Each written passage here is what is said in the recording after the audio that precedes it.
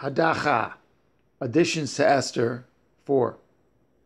After these things, when the wrath of King Achashvarosh was appeased, the rather he remembered Eth Vashti, and doth what she had done, and doth what was decreed against her. Then said the king's servants that ministered unto him, Let there be fair young virgins sought for the king.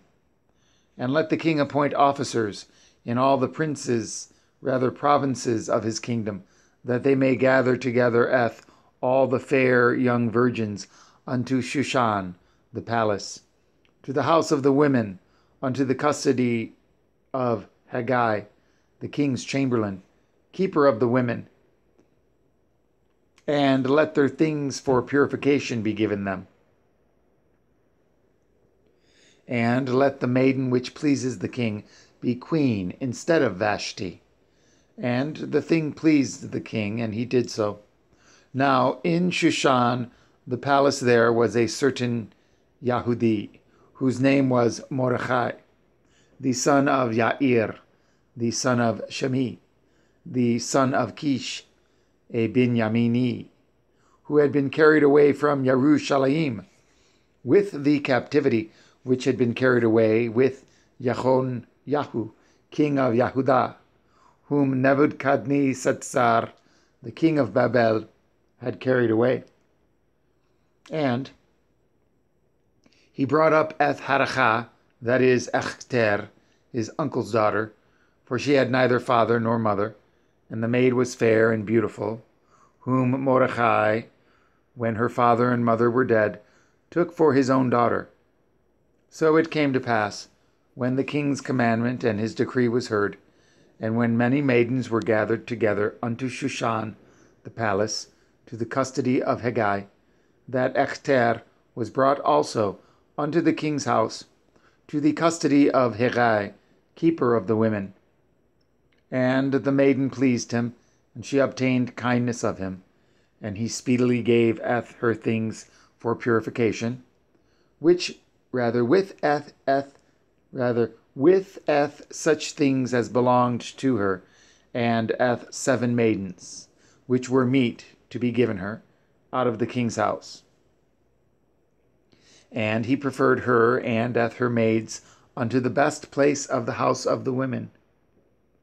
Ecter had not showed Eth her people, nor Eth her kindred, for Mordecai had charged her that she should not show it.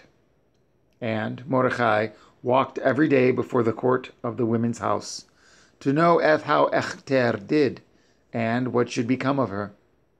Now, when every maid's turn was come to go in to the to King Achashvarosh, after that she had been twelve months, according to the manner of women, rather of the women, for so were the days of their purifications accomplished, to wit, six months with oil of myrrh, and six months with sweet odors, and with other things for the purifying of the women. Then thus came every maiden unto the king Eth. Whatsoever she desired was given her to go with her out of the house of the women unto the king's house.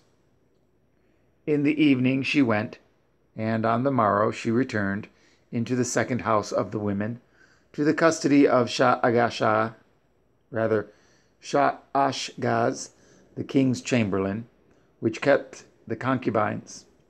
She came in unto the king no more, except the king delighted in her, and that she were called by name.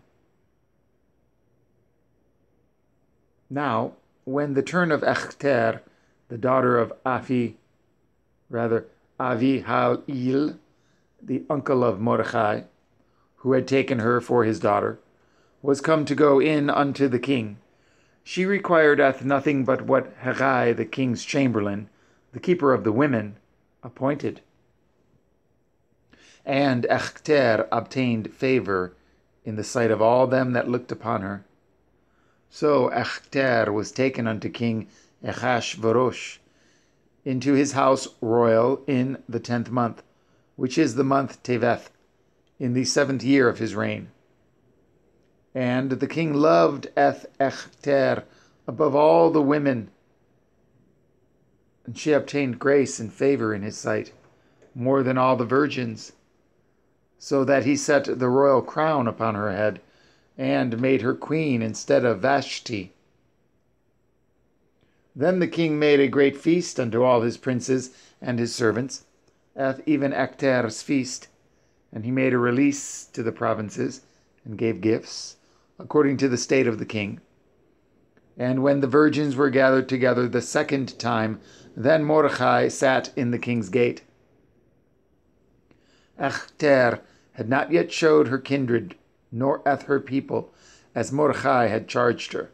For Ecter did eth the commandment of Mordecai, like as when she was brought up with him. In those days, while Mordecai sat in the king's gate, two of the king's chamberlains, Bigthan and Teresh, of those which kept the door, were wroth, and sought to lay hand on the king Achashvarosh. And the thing was known to Mordecai, who told it unto Ecter the queen. And Ecter certified the king thereof in Mordecai's name. And when inquisition was made of the matter, it was found out. Therefore they were both hanged on a tree, and it was written in the Sefer of the Chronicles before the king.